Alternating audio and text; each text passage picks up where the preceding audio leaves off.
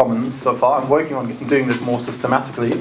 And before doing this, I'm uh, trying to get an overview of how are the files actually used. I noticed there is actually no tool, or at least none known to me, that would help me identify the most used image within a certain category, and uh, preferably across Wikimedia projects. So if you know of a tool that does this, or if you have an idea how easily construct such a tool, that would be cool.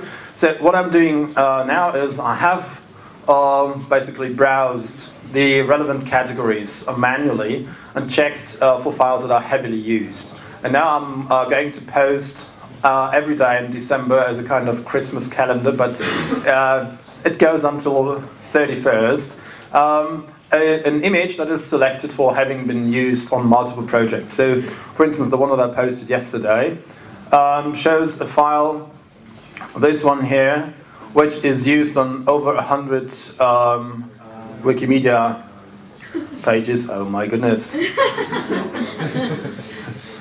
uh, yeah, in principle, if you scroll down and you, you see it, it's quite a lot and uh, there's even more. So um, there are one minute left. Okay, that's okay. Um, so uh, that was the idea. It, and um, if you have uh, suggestions on what images are heavily used from open access sources or how to automate the process, uh, I, would, I would like feedback on that. Then just 30 seconds on the other project.